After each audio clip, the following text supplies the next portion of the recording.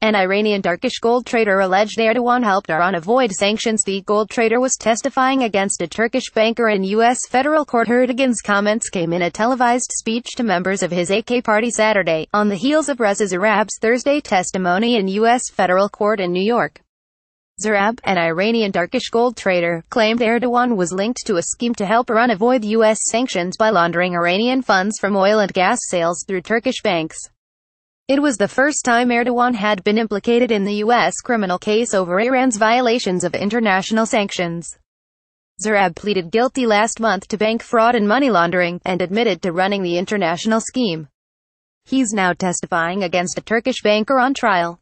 During a televised speech to members of his AK party on Saturday, Erdogan said virtual courts in the United States had no jurisdiction over Turkey.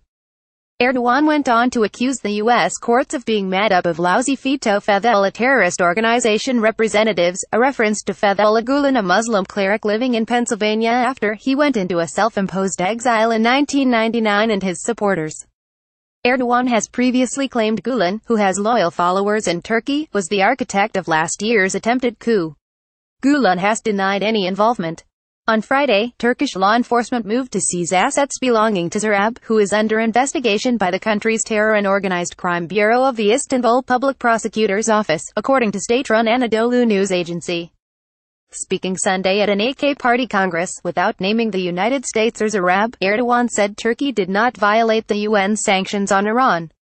What did we do? We purchased natural gas from a country within our agreement so that our citizens will not get cold in the winter and the economy will keep running, he said, adding Turkey strictly adhered to the sanctions. Sorry, but we will not bend our knees over this blackmail, Erdogan said. CNN's Jose Pagliery contributed to this report.